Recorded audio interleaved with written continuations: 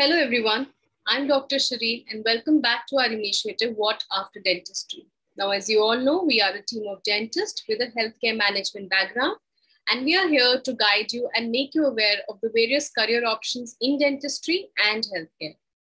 Today, we have with us Dr. Akruti Choksi, a dental surgeon from Mumbai who practiced dentistry for two years and then followed her passion and love for animals to become India's first equine dental technician.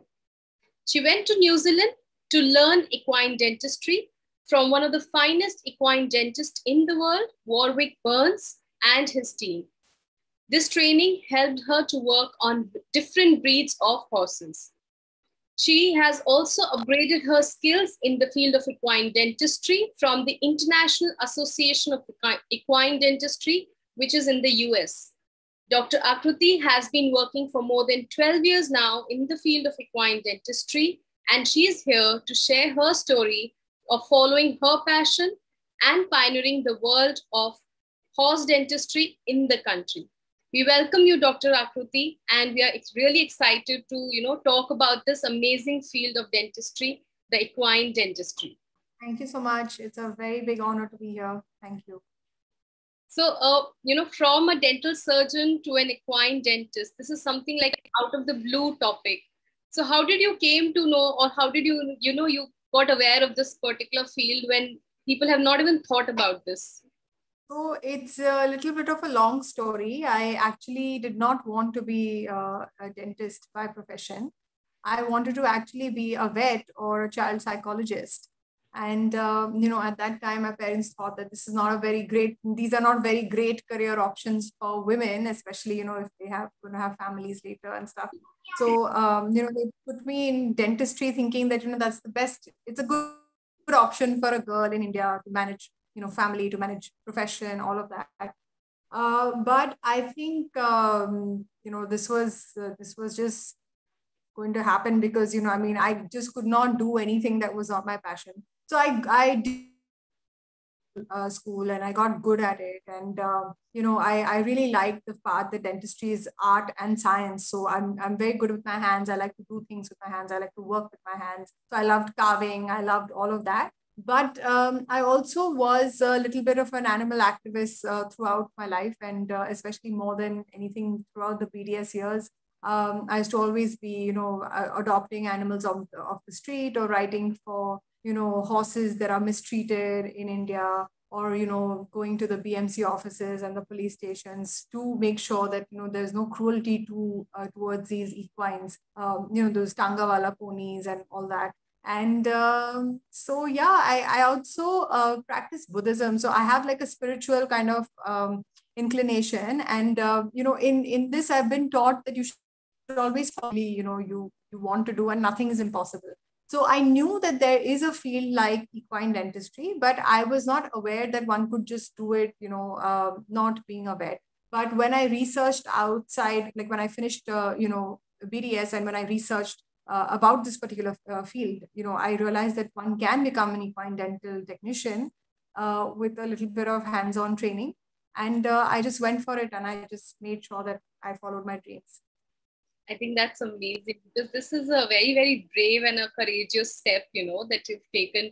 It's not easy to shift your uh, core profession from, you know, practicing on humans to, de- to now practicing on horses. So I think really great to uh, to get to know that you know people are like this and uh, you know there are people like this who, who just follow their passion and dreams whatever they want to do so i think i sh- it's really great to have you today on our platform so uh, what were your reactions i'm sure that you know your friends and your family would have reacted in a way like uh, why equine dentistry so how did you you know convince them that so um, I think I've been very lucky uh, to have very, very supportive parents. Also, I feel that I'm uh, very like spiritually, I think I had a very uh, clear thought, you know, saying that this is something I really want to do.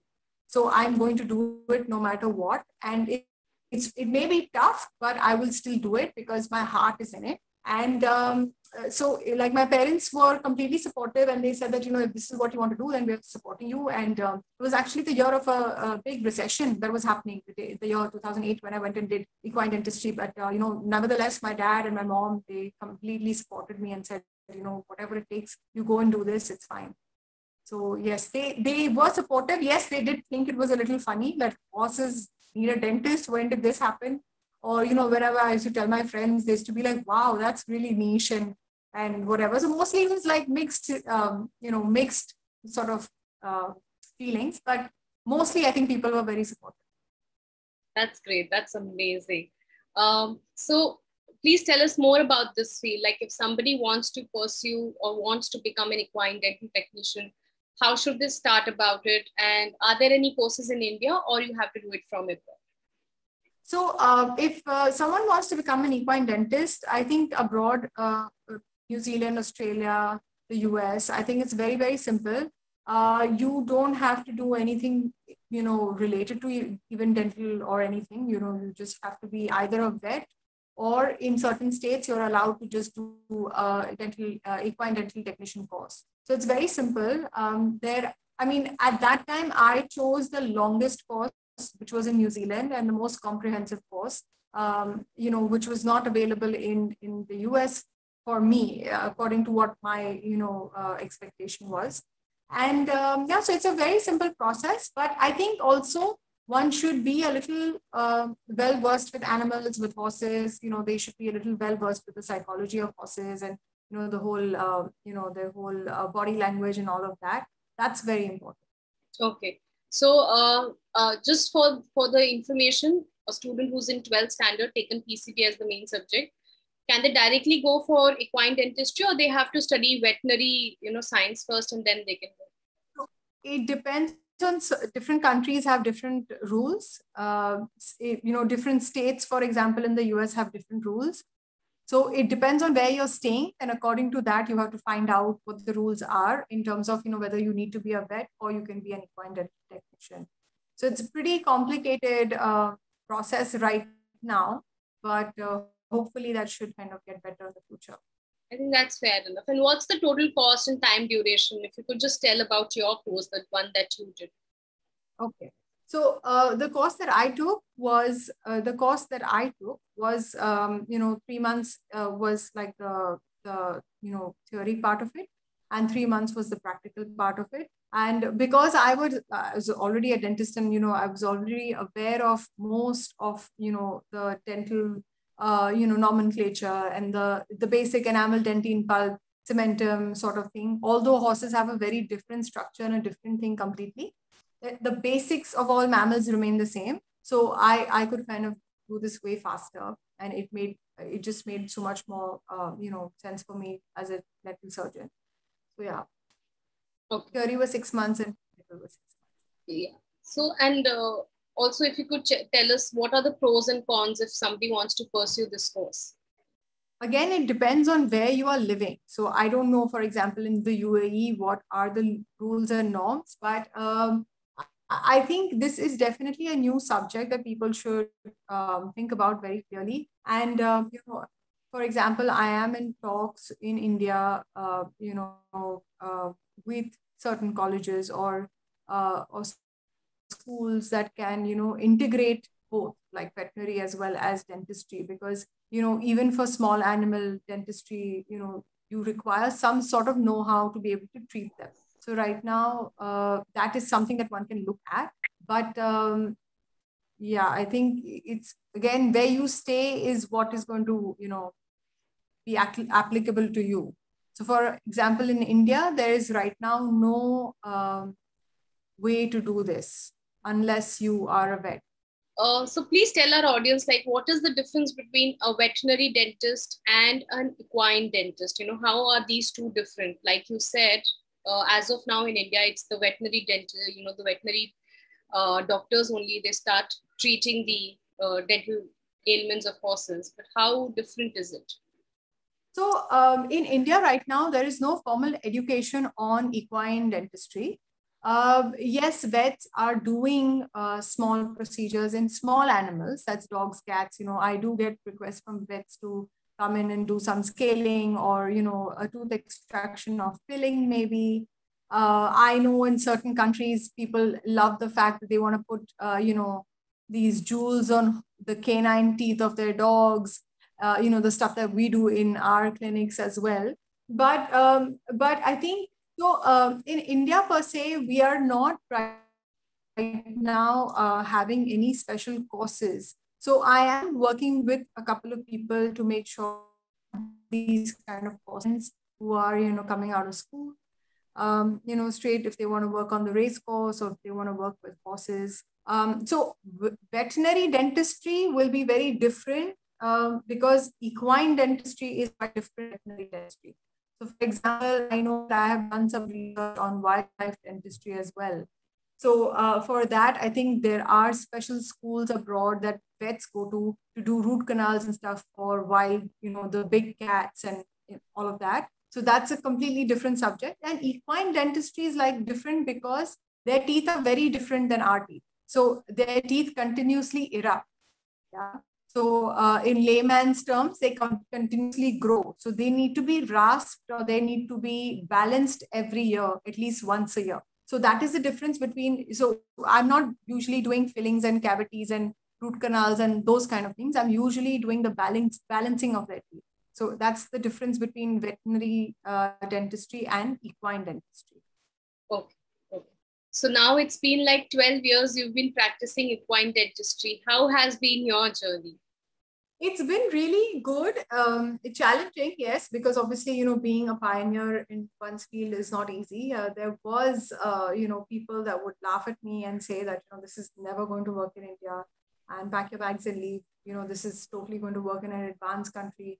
Your people don't do their own teeth work. You know you can't expect them to take their horses to a dentist. But i'm very proud to say that you know things have really changed. I have actually done a lot of uh, education work. I've, I've gone like, you know, behind the scenes a lot to be able to educate people, to share knowledge, to make them understand that, you know, if you have horses, then it's a very normal thing to do. Um, to get their teeth done is the basic care that you could provide for a horse. So, I mean, I can't say that I have a dog and I don't want to take it to the vet or I don't want to take it out for a walk, right? I mean, I rather not have a dog. So in the same way, I've have, have had to really, um, you know, teach the, you know, or share this sort of knowledge with the horse owners saying that, you know, the, your horse's teeth actually make or break that horse, you know, in terms of the racing, polo, uh, just even breeding purposes, whatever. So the teeth is how the horse kind of um, starts eating. And from that eating, the entire well-being and the health of the horse is connected. Also, the performance is connected so yes it's been a uh, it's a, been a huge journey um, but very satisfying. And now people see the great difference that dentistry can bring uh, you know to their horses and they're very very glad to get, get it done. So yes now it's it's now becoming like a very sought after you know thing. Yeah I, i'm sure it would be. And in future also as and when you know uh, people come to know more and more about it they will be as uh, coming up with their horses, of course, to you. And if anybody else, if they uh, want to be an equine dental technician in India, uh, later on, maybe after you know they see your this session today that we are having. So maybe anyone who gets inspired and gets motivated. So um, you know, we are just curious to know what kind of procedures or treatments do you do on horses? How easy it is to control a horse while you're doing any kind of a procedure? So I was very lucky in New Zealand. Um, you know, I chose New Zealand exactly for that reason, where um, you know I saw that they are conducting their course completely like you know like in the open, you know, in barns, in you know people's backyards and paddocks and all of that. So uh, New Zealand is a country where everybody, every middle class person, every normal person has a couple of horses at least. So um, it's like you know us having dogs. It's very normal for everyone to have dogs in India, for example. So um, so in New Zealand, I mean, people were um, they're very conscientious. They they uh, they're very like you know animal friendly. I mean, their whole life revolves around like you know farming or having you know uh, their like cattle or you know sheep or horses and all of that so um, i think i was very lucky that i was in this uh, course i was taught uh, from scratch I did not know too much about horse riding and, you know, um, you know, in a very technical manner. I do, I did know how to ride a horse. I've been, my dad put me on a horse as soon as I was a year old, I think. So I always loved horses, but um, technically I was a complete newbie to this, you know. So it was a good thing actually. Warwick was very, uh, very happy with the fact that I'm, I'm relatively a clean slate. So um, I think I wouldn't say horse dentistry is difficult. I think it's very easy if you know how to like, you know, be in sync with a horse. And I was very lucky to have an amazing teacher who taught me exactly how to approach a horse, exactly how to make friends with it. Um, I today for dentists, I would say that you know it's very much like pediatric dentistry. You know, you don't scare the child as soon as it he or she walks into the clinic. You make friends with that child. You make it. You, you make them understand that you know you're not going to get hurt. You're you're fine and everything is okay. And the child is more than happy to you know oblige, and the child is more than happy to please you. So I think the horses are the same. Uh, they also get that you know this is my friend and you know this is not going to hurt so uh, the the stuff that i do with horses is that um, so for example babies like you know the younger horses when they come into racing they have primary teeth that are you know ready to be exfoliated so when they have the bit in their mouth and then the jockey is riding the horse because the bit is connected to the reins and the jockey is sitting on the horse right so many a times when they have um, you know a sensitive mouth it's because their baby teeth or primary teeth are exfoliating and they're in pain. So, you know, for example, the jockey would come and tell me that, okay, you know, when we're trying to do this, the horse is getting really upset and is rearing up or whatever. But, and when you open the mouth, it will be as something as small as that. Um, you know, there are a few extractions that I need to do of wolf teeth, which are rudimentary little teeth right in front where the bit is there. So again, that is something that I have to do. So extractions is one thing. There is uh, rasping, which I said that, you know, their teeth continuously grow and become very sharp. So the, the, the mouth gets cut in the inside or, you know, whether it be, uh, you know, certain parts of their teeth grow out longer than the other. So they become imbalanced. So they can't eat properly, they can't chew properly, or the bit is not uh, comfortable for them. So I have to rasp these teeth down and balance them with hand floats or hand tools or power tools. And, uh, you know, there are lots of, I mean, I have done partial I would say um, pulpotomies, not pulpectomies, pulpotomies for horses, because um, I'm yet to find, uh, you know, root canal equipment for horses in India. Um, but in New Zealand, we did do partial pulpotomies and um, we did do fillings as well.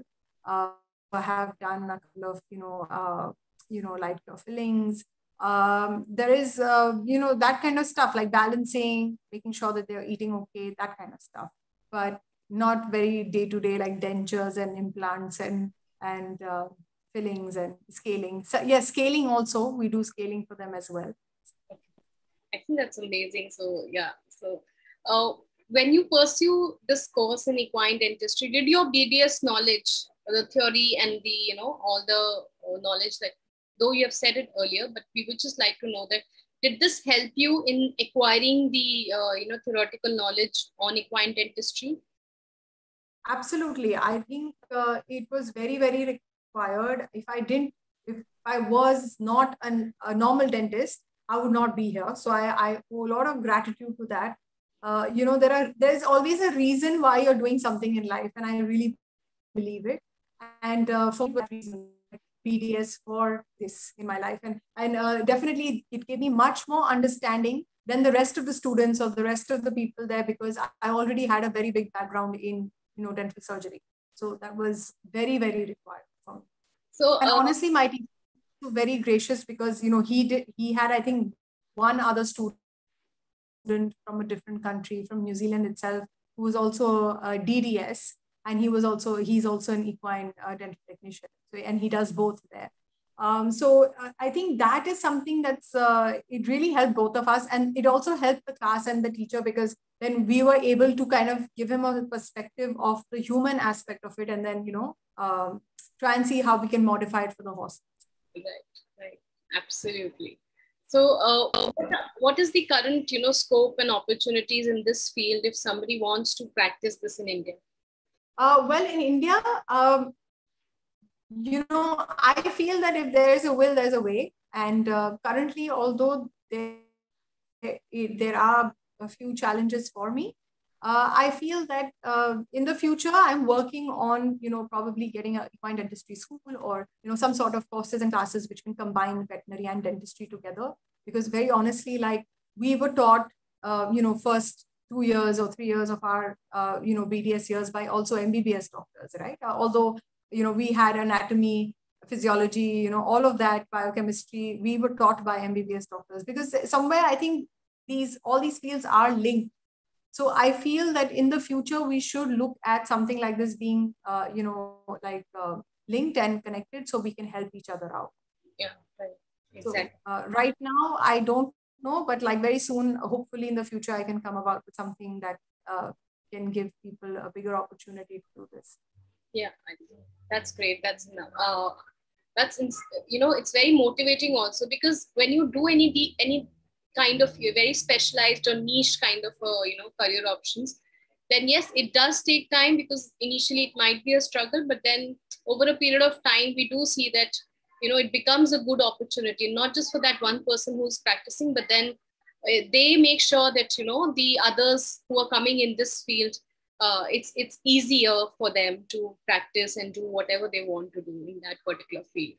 So yes rightly said. Uh, one last tip or advice that you would like to you know share with the dental fraternity or the dental students graduates that they should follow?